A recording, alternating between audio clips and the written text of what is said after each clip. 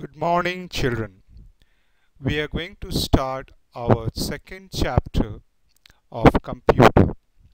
Hope you are keeping well and following the instruction given by the government. Stay home, stay safe.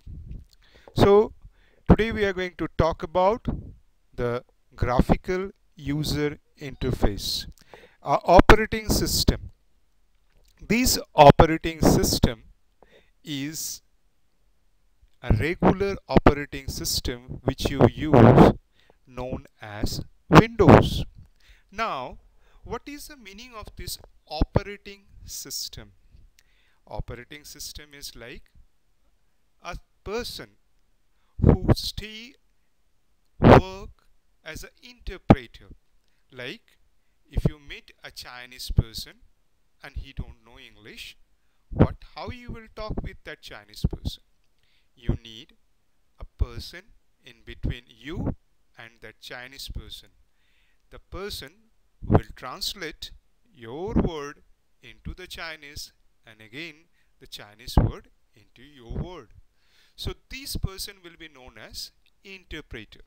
Same way, when you are going to use a computer, you need a software which will translate your instruction into the computer language so that computer understand and execute the things. After execution, the desired output which you required to be translated back into in your own word or language that is also done by that same interpreter and this particular software is known as operating system they not only translate this informations they also manage and manipulate all the hardware. You have already learned about hardware in the first chapter. Those all hardware keyboard mouse screen cpu disk everything is managed by this operating system. There are two types of interface over here.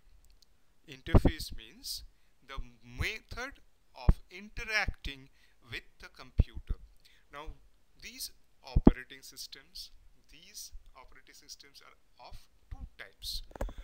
One is command line interface, another is graphical user interface.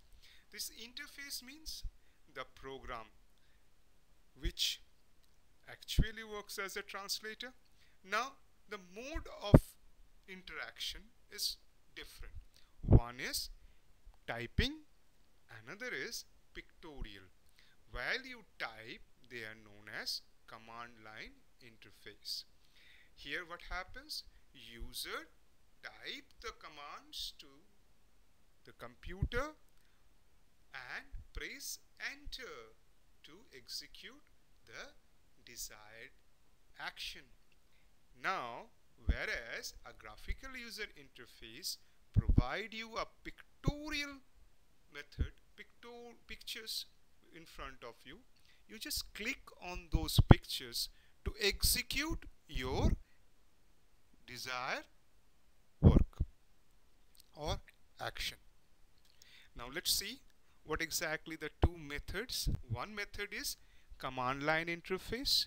This is the simple thing text based you can see the black screen over there. One prompt is there. In that prompt you have to write or type a command and press enter. If the computer understand that command it will execute according to your desire.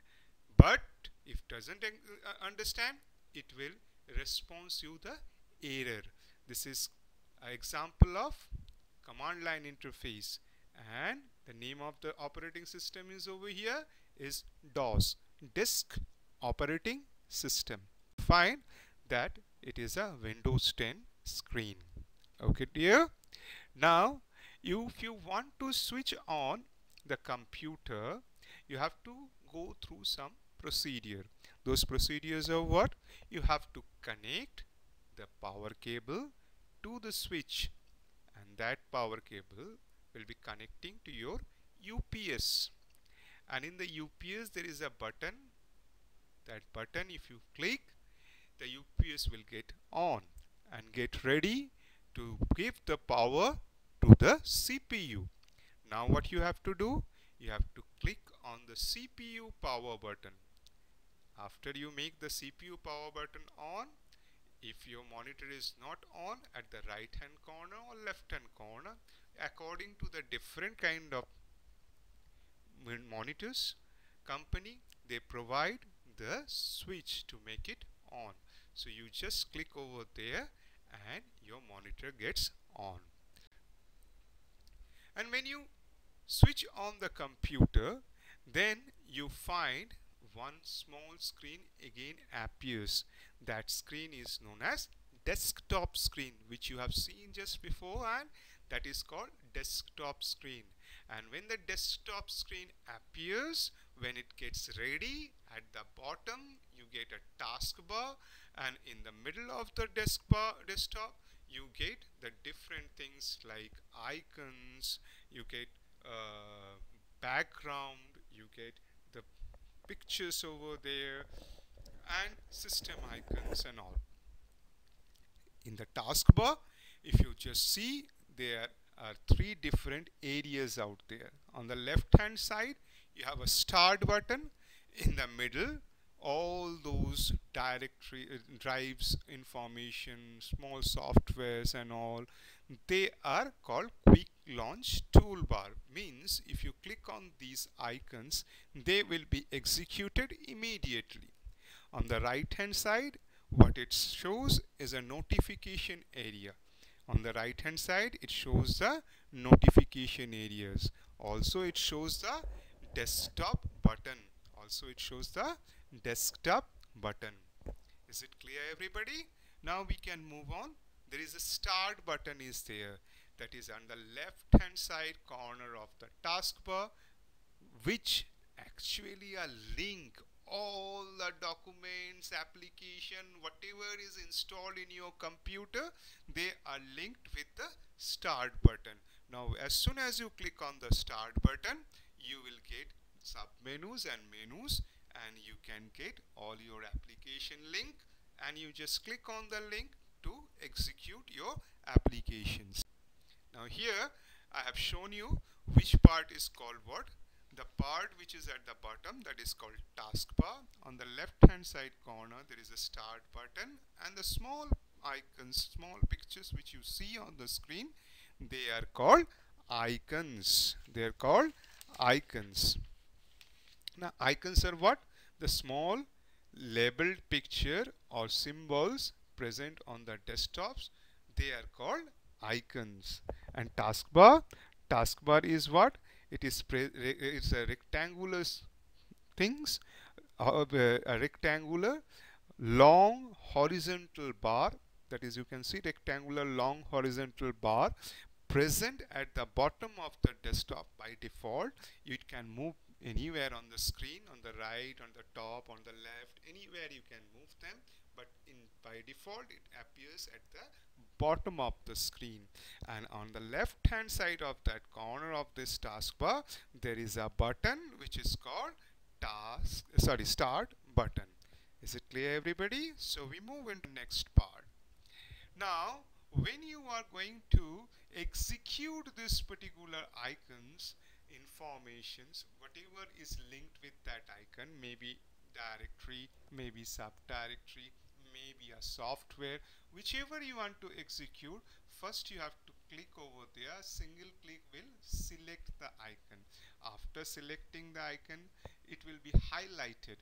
And then if you want to delete them you can just click on delete button or you can right click over there and just go for the cut option. So you can delete it. And after selecting if you want to execute what you have to do you have to double click on top of that now if you see the adjacent and non-adjacent item selecting an adjacent item left click on the first item to be selected. And now if you want to go on selecting more then what you have to do you have to just shift press the shift key and go down to any number any number and anywhere if you click what will happen all the icons in between will be selected. Whereas if you want to select one of your choice another of your choice not the continue continuing one that means non-adjacent items then what you have to do you have to press control button and then click on a particular item and then you can go to another item anywhere in the screen. Click over there. So what will happen? The icon first you have selected and the second time when you have clicked only these two will be selected. None of the other icons will be selected in between. So that is called there how you can select non-adjacent items. Now how to open a program? Simple program open is just click on the icon which you want to select and press enter key. As soon as you press enter key it goes on executing. Otherwise what you can do you can go at the start button and you can use the run option. There is a run option is there modern days. It is coming as a simple text box. And over there what you do you type the name of the software and press OK. The same way it was just selecting the icons and pressing the enter. Here what you have to do you have to go to the start button select the run option. A text box will appear. There you will be providing the name of the software and press OK.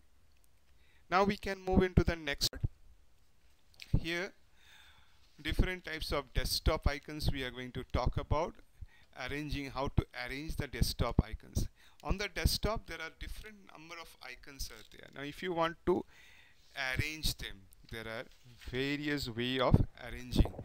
Now when you want to arrange them what you will do you will right click in the blank area of the desktop.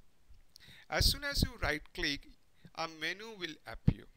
And then in that menu there is an options called view. And you will select that option view.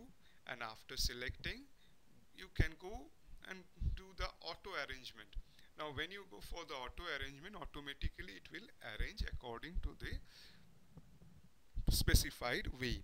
Otherwise you can arrange in a different ways like arrange the name list large icons small icons and different way you can arrange. Next when you want to sort the icons you want to arrange the icons alphabetically or you want to arrange the icon according to the created date. Suppose first I have created on first second I have created on 7th third I have created on 8th like this way if I have created three different softwares or three different files and if I want to arrange those file icons according to the date I can choose by date. Then you can go for by size you can go for by name and you can go for by size also. If the file is very big that should be coming at the last. And if the file is small that should appear at the beginning. I can sort accordingly. Now when I want to change the background background means the picture. I talked about the desktop. In the desktop there is a picture is there at the background. And if you want to change the background what you have to do you have to right click on the desktop anywhere in the blank. Then you have will get uh, options called personalize. And you will select that personalize option. And in the personalization option you will select desktop background. As soon as you select the desktop background there will be lots of options of the background will appear. And lots of images multiple images will be appearing. Now according to your choice you can select any one of the image and click on OK. And as soon as you click on OK save the changes button and it will save the change. Means it will change the background when you don't work on a computer for a long time what happens? Computer screen automatically saves the power with the help of a software. That software name is screensaver. The screensaver pop up with some kind of image or movies or pictures so that the front end of the screen doesn't get spoiled with the power. So that's the time when you it is if you leave your computer idle for a long time it automatically pop-ups. This is called screensaver. Now how I can provide a specific screensaver according to my choice? What we will do? Same way right click on the blank area of the desktop select the personalize option. In the personalization box there is options called screensaver and over there in the screensaver there are number of list of screensavers will appear. From there you can choose any one of those options. Some predefined already created screensavers are there. You can choose any one of them or you can choose a 3d text where if you choose a 3d text it will give you uh, options to write down what you want to write when your computer is idle. Or and after how long? Means if you leave your computer idle for a specific number of minutes after how many minutes it should the screen should uh, saver should appear on the screen that will be uh, given with the help of wait options. And then you click on OK. So when you click on OK your screensaver will set up.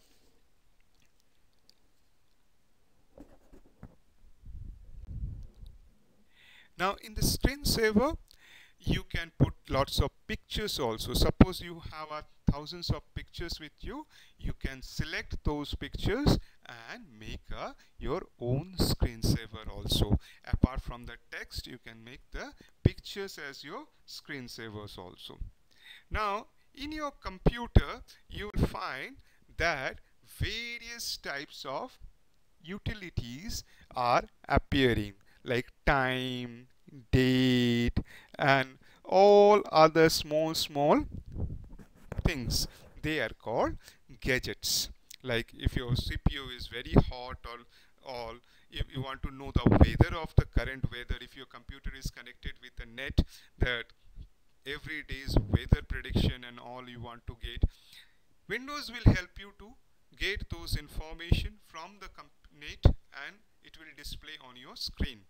And to display that there is a specific type of softwares are there. And these softwares are called gadgets. And these gadgets will appear on the screen with some information for you. So to uh, to make this gadget on what you have to do. Again same thing right click on the desktop select the gadget option.